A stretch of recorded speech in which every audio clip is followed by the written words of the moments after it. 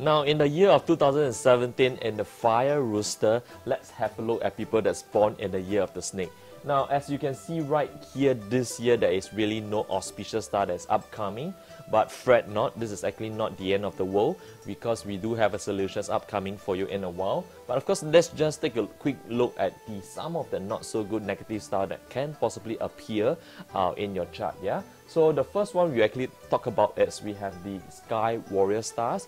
This specifically talks about communication problem. It means that there are a lot of chances you could have let others, you know, mis kind of misunderstand what you really stand for or what you speak. So just make sure that you give clarity in the way of communication and that you should be doing just fine. Of course, we also have the White Tiger stars. Now, this star specifically talks about traveling obstacles. So it means that while you are traveling, you should be very careful of, uh, you know, when you're driving uh, in case of an accident, or while you're traveling, you should be careful of falling sick during the holiday travel or even traveling for work itself. So just pay more attention to this part. Generally, there is nothing uh, too bad that you need to be worried about. Of course, we also have the broken stars. That's specifically something I need you to take note of. Is because the broken stars talks about one image is actually being suffered in terms of your reputation. So it means that whatever you're doing, as long as you're engaging with the public, you're engaging with your colleague, even in your work environment, you just have to be very careful not to have your personal reputation be on the line and generally you'll be fine. Of course, some of the other stars that uh, we really look at is now you might be wondering if there's no auspicious stars then what can really come and to save the day here?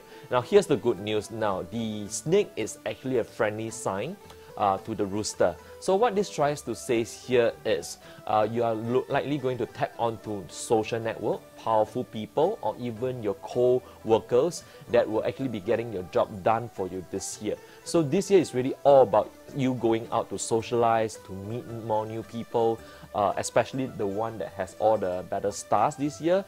Use them to advantage and make sure that you collaborate well together and then the year will be riding just fine. Of course, in the 12 Chinese zodiac alone, whatever we have been discussing, it's only talking about the year. That means you're born in the year of the snake. But we do have a bit more than just that. Now, in Chinese astrology, uh, we have this is called Bazi, or the four pillar of destiny.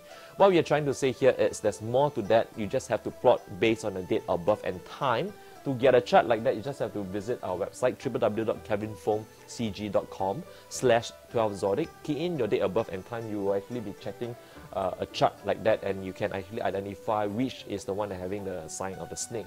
Of course, if uh, the snake actually falls under the month, that means you're born in the month of the snake. What this means that this year, your career, you need to be paying a bit more attention in terms of everything that you do. Now, in terms of your business luck, it is not wise to actually do a very big expansion. Now, should you want to do any major plan, you should always go back to the drawing board and do your homework again and make sure you research the market itself.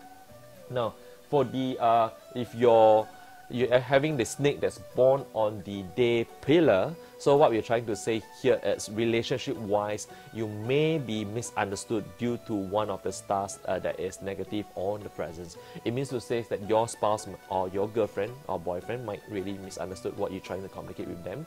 So what this means is you just have to improve in the way of communication. Let these people know that what are you planning and of course align your vision with them from time to time.